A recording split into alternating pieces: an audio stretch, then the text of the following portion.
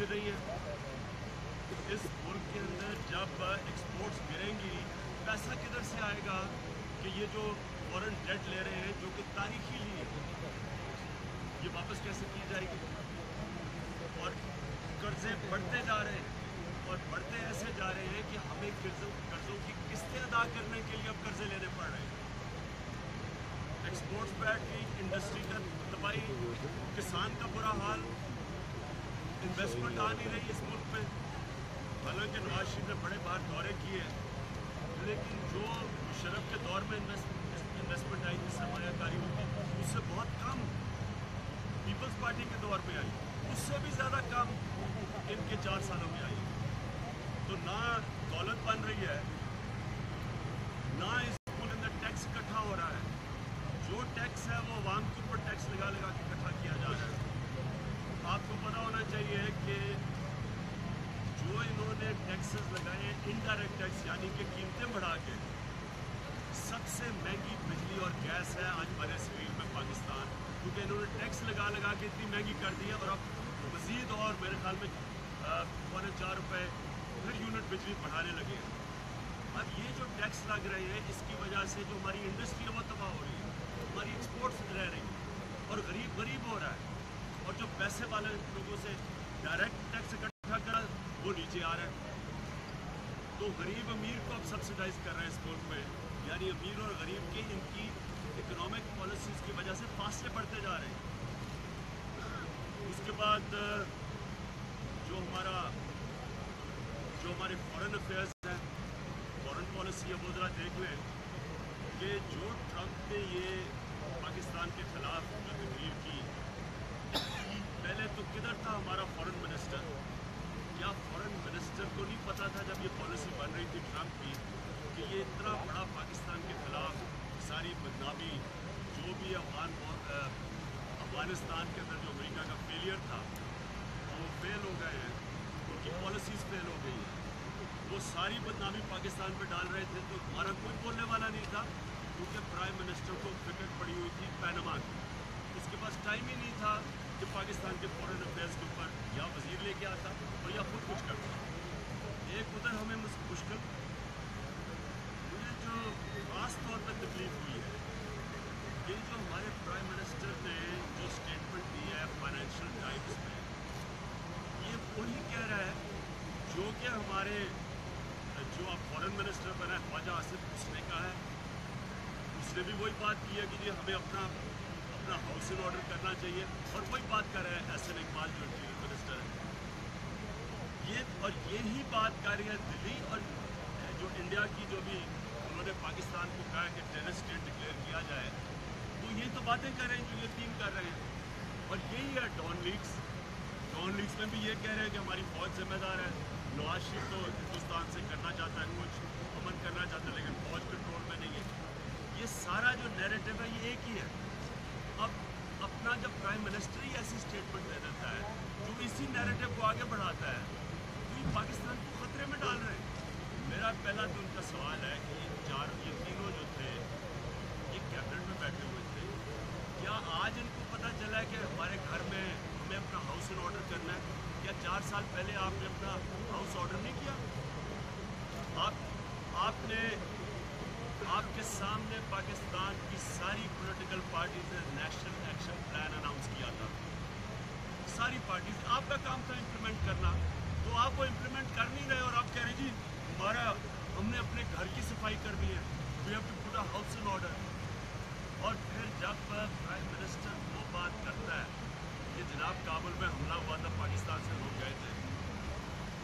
Prime minister اتنی غیر ذمہ دار اسٹیٹمنٹ اس ٹائم پہ دیتا ہے جب ٹرمپ بھی دے چکا ہے اور جب ہندوستان کی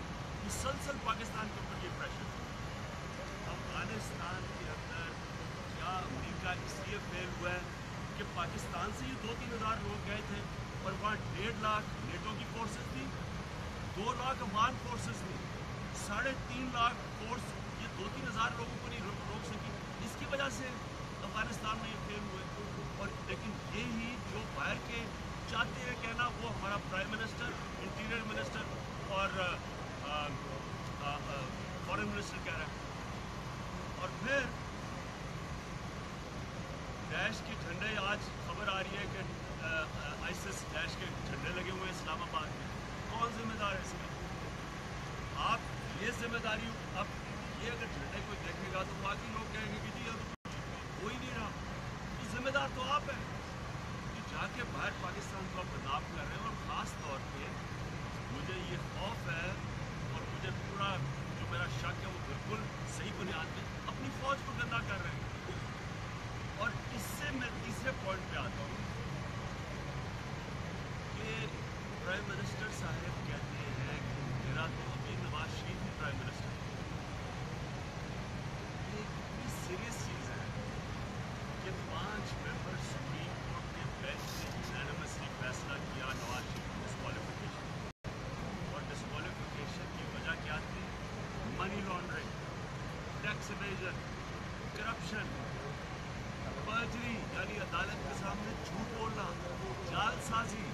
جعلی کاغذ دینا عدالت کے ساتھ۔ بچے بھی جھوٹ بول رہے ہیں پرائم منسٹر بھی رہے ہیں۔ ایک پہلے سپریم کورٹ کا بینچ بیٹھا دوسرا بیٹھا، ساٹھ دن کی جی آئی ٹی بیٹھ۔ اس کے باوجود جب پرائم منسٹر اپنی ثبوت ہی نہیں دے بیٹھا بچہ بچہ پاکستان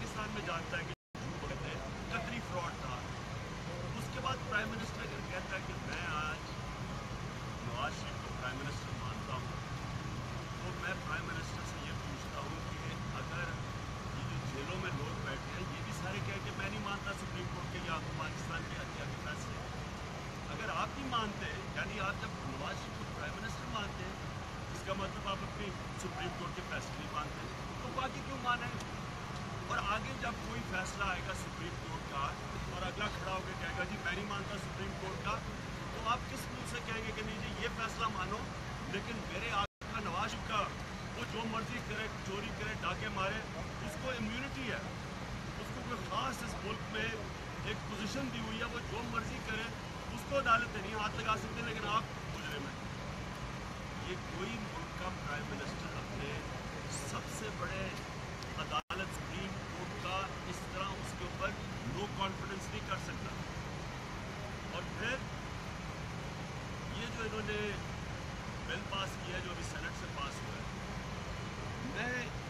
چیلنج کرتا ہوں کہ کوئی دنیا کی جمہوریت میں ایسا بل بتا دے کہ ایک آدمی ناہل ہو پارلیمنٹ میں نہیں آ سکتا لیکن پارٹی کا سربراہ بن سکتا یہ کوئی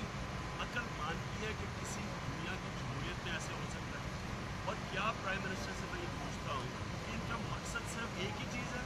کہ آپ یہ شریف خاندان کو بچائیں گے کہ اگر یہ آپ اس طرح کا بل پاس کروا سکتے ہیں آپ کی ساری دنیا میں پاکستان کی جمہوریت کا مذاق اڑے گا۔ یہ دنیا میں کوئی سوچ ہی نہیں سکتا کسی ڈیموکریسی میں کہ ایک ناہل ایک مجرم کو آپ پارٹی کا ہیڈ بنا دیں۔ اس نے ابھی عدالت میں جانا ہے، وہ ابھی واپس آئے گا تو وہ عدالتوں میں جائے گا۔ اس نے ابھی اپنے آپ ثابت کرنا ہے جو اتنے بڑے الزام جو ان کے اوپر اربوں اربوں روپے کی، تین سو ارب روپے کے باہر انہوں نے پیسوں کے جواب دینے ہیں۔ تو جیلوں میں تو بیچارے ہزاروں والی چوری میں پھنسے ہوئے ہیں۔ تو وہ کیا وہ پارٹی کا ہیڈ بن جائے گا؟ یہ جمہوریت کو ہمارے نقصان پہنچا رہے ہیں سنگل پاس کر یہ ہماری ڈیموکریسی کے خلاف ہے۔ اور میں ساتھ ساتھ جمہوریت کا یہ تقاضا ہوتا ہے کہ پرائم منسٹر اپنے آپ کو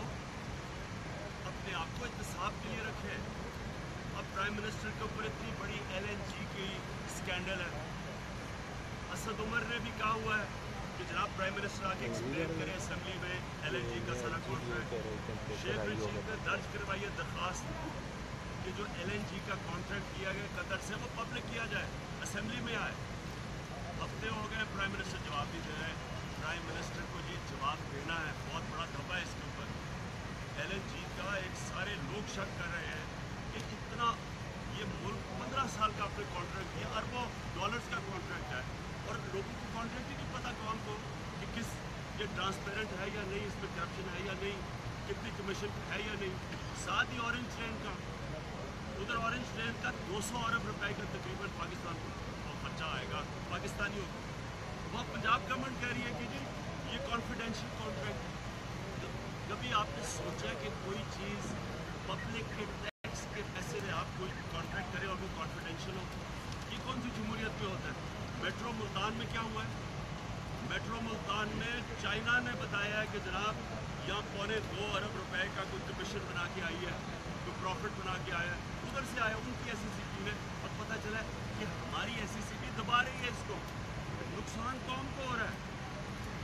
تو میں پرائم منسٹر سے۔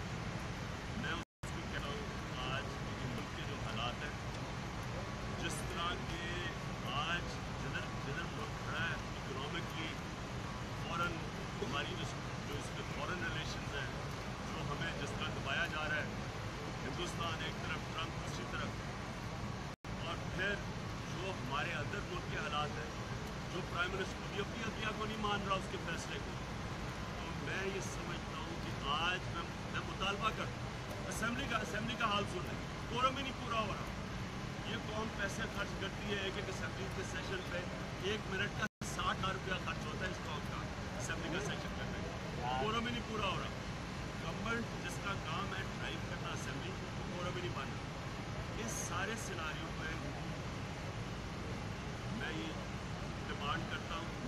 Al Bakker.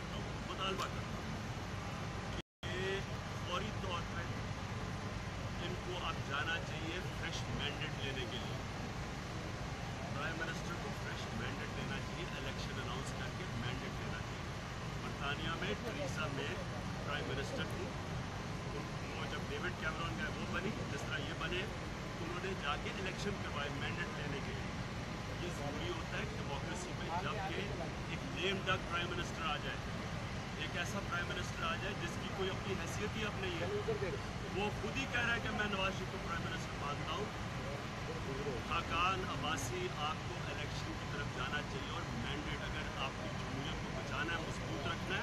آپ اس کو مضبوط رکھیں گے۔ عوام کے پاس جا کے، عوام کا مینڈیٹ لیں۔ اردوگان کا جب کیس آیا تھا اسکارف کا، تو وہ اس نے کوئی شور شوٹنگ کیا، ادھر ادھر نہیں بھاگا پڑا۔ جی ٹی روڈ پہ نہیں گزرا کہ مجھے کیوں نکالا، چار چار دن لگایا اس کے اوپر۔ اس نے جا کے عوام کے پاس گیا فریش مینڈیٹ لے کے آیا۔ یہ بھی وقت آ گیا ہے فریش مینڈیٹ اپنی جمہوریت کو مضبوط کر رہے ہیں یہ جمہوریت ہماری کمزور کر رہے ہیں، سپریم کورٹ کے فیصلے نہیں مان رہے اکنامکلی نان ٹرانسپیرنٹ طریقے سے چل رہی تھی۔ ابھی ہم پتا چلا ہے کہ جناب یہ تو دار تباہ کر کے اکانومی ہماری جھوٹ بول بول گئی اور پھر جو نواز شریف پر میں نے سنا ہے ساکار آ رہے ہیں۔ میں یہ نیب چیئرمین سے ڈیمانڈ کرتا ہوں پاکستانی ہوتے ہوئے کہ اس کو ابھی سی ایل پہ ڈالیں اب یہ باہر نہ جا سکے۔ یہ جو باہر باہر اگر دیں گے باہر جانے میں۔ کیا فرق ہے ان میں؟ کیا یہ کوئی خاص چیزیں آئی ہیں؟ چوری بھی یہ زیادہ کریں اور پرولیجز بھی ان کو ملے اور عام آدمی چوری بھی کم کرے اور اس کو کوئی رائٹس بھی نہ ہوں تو آپ فوری طور پہ ان کو اب اب ای سی ایل پہ ڈالیں اور کیونکہ ہمیں شک ایک اور بھی ہے کہ خاقان عباسی اب پروٹیکٹ کریں گے نمبر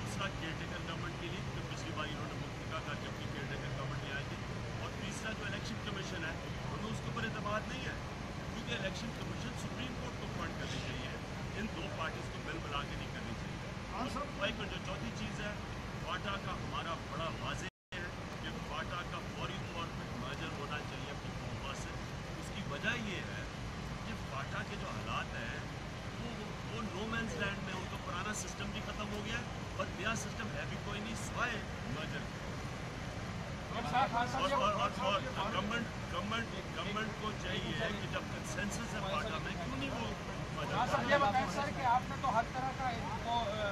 وہ چھانٹائی کر دی ایک ایسا اینگل بھی ہے کہ جو بیوروکریسی میا محمد نواز شریف نے لگائی تھی اکیس ایڈیشنل بیوروکریٹ باہر کام کر رہے ہیں ایون کہ پاکستان کی تاریخ میں پہلی دفعہ جو سیکٹری اسٹیبلشمنٹ ہے اکیس میں کا ہے اس کا کیس لگا ہوا اور وہ وہاں پہ بائیس تک وہ کام کر رہا ہے اس طرف کبھی آپ نے آپ کی بات میں کوشش کی ہے دھیان دیا جب supreme godfather Nawaz Sharif کو یہی گاڈ فادر کا کام ہے اوپر آ کے بیٹھتا ہے سارے اداروں پہ اپنے آدمی کھڑے کر دیتا ہے وہ پاکستان کی بہتری کے لیے نہیں گاڈ فادر کی لائلٹی کے لیے ہوتا پھر وہ اپوزیشن یعنی ہر جگہ لوگوں کو لوگوں کو جکڑ اپنے ساتھ ملا لیتا ہے یہ جو شور مچا رہے ہیں وہ پاکستانی فوج کے خلاف اور پاکستانی سپریم کورٹ کے خلاف ان کا اس کو کہتے ہیں نہیں جمہوریت کو خطرہ ہے اور پرانا خطرہ ہے اور اور وہ غلط جوڈیشل کو ایسی باتیں کر رہے ہیں مقصد ان کا یہ ہے کہ اس ملک کی عدلیہ کیوں نہیں ان کی ایسا ہوتا جس طرح جسٹس قیوم تھے جس کو ٹیلی فون کر رہے تھے سیف الرحمان اور اور شہباز شریف اور بتا رہے تھے کیا فیصلے کرو یا اگر نہیں مانتے تو ڈنڈے مار کے انہوں نے سجاد علی شاہ کو بگایا تھا سپریم کورٹ سے یہ ویسی عدلیہ چاہتے ہیں اور یہ فوج وہ چاہتے ہیں جو پنجاب پولیس کا کام کرے ان کا جب کوئی ادارہ ان کے قابو میں نہیں آتا تو سازش ہو جاتی ہے خان صاحب، ایک ادارے نے آپ کو کل بلا رکھا ہے کیا آپ کل جواب توہین عدالت کیس میں جمع کرانے جا رہے ہیں۔ اس وارنٹ تو معطل ہو چکے ہیں، لیکن کمپلائنس میں آپ جا رہے ہیں یا نہیں جا رہے ہیں مطلب کا رکھا دیکھیں جی میرا وکیل ہے، میں پھر سے لوگوں کو بتا کہ الیکشن کمیشن ایک ایڈمنسٹریٹو ادارہ ہے۔ اس کا کام ہے صاف اور شفاف الیکشن کروانا۔ وہ ایک جوڈیشل ادارہ نہیں ہے۔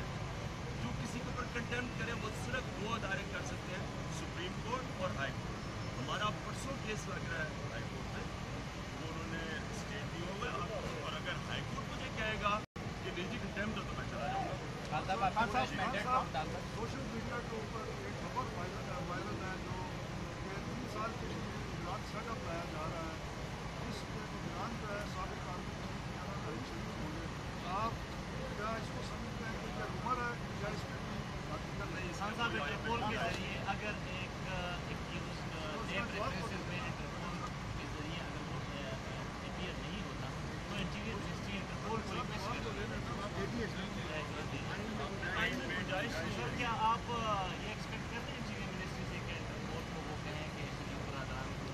یہ کہ بی پی اور اداری کے کیس میں اس طرح ہوا تھا انٹرپول کی بات یہ کہی بالکل لانا چاہیے دیکھیں یہ بہت برا ہوگا کہ اگر اربوں ہمارا ہے کہ ان کی اربوں ڈالرز کی کرپشن ہے روپیوں کی نہیں ہے یعنی ان کا تین سو ارب روپے سے زیادہ کی کرپشن ہے کتنا بڑا ظلم ہوگا کہ ان کو نیب نے پہلے جانے کیوں دیا کیوں نہیں ای سی ایل پہ ڈالا اور اگر یہ واپس آتے ہیں تو ان کو فوری طور پہ ای سی ایل پہ ڈالو اور جو باہر ہے اور میں سمجھتا ہوں کہ اگر اسحاق ڈار جو انہوں نے اس ملک کی اکانومی سے کر دیا اب تو سامنے آ گیا نا پہلے تو چھپا ہوا تھا یا لوگ ڈرے ہوئے تھے اب تو سب کو پتہ چل گیا ہے کہ جو انہوں نے اس ملک سے کیا ہے میں اب اس کا میں پھر سے کہتا ہوں یہ ہے جو کلاسک ایک ایک ٹرم یوز کی جاتی ہے اکنامک ہٹ مین کہ قوم کو مقروض کرتے جاؤ تاکہ اس کو غلام بنا دو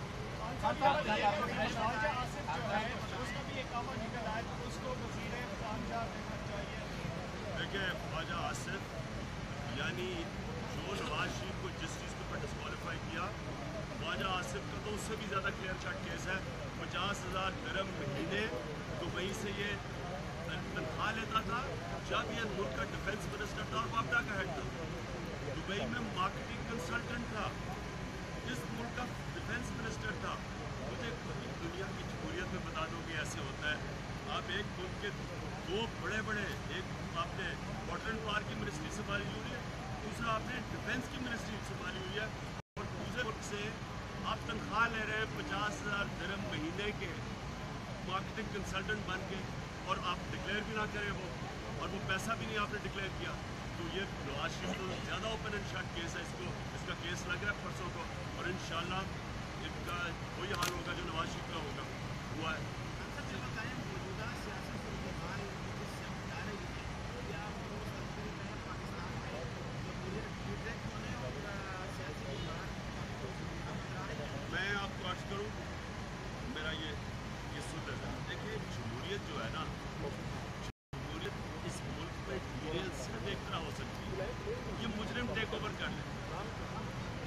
ڈیموکریسی ہوتی ہے اور کلیپٹوکریسی ہوتی ہے.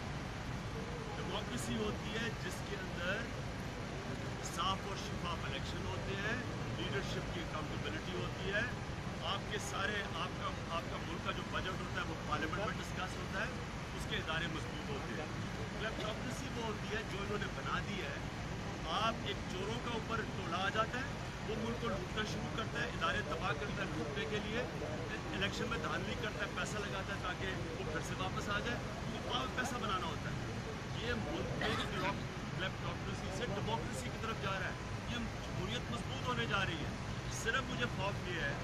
کہ یہ خاکان عباسی آپ شریف خاندان کو بچانے کے لیے مزید اور نقصان نہ کریں، جس کی وجہ سے میں کہہ رہا ہوں کہ بڑے کمزور پرائم منسٹر ہیں۔ ان کے پاس انہوں نے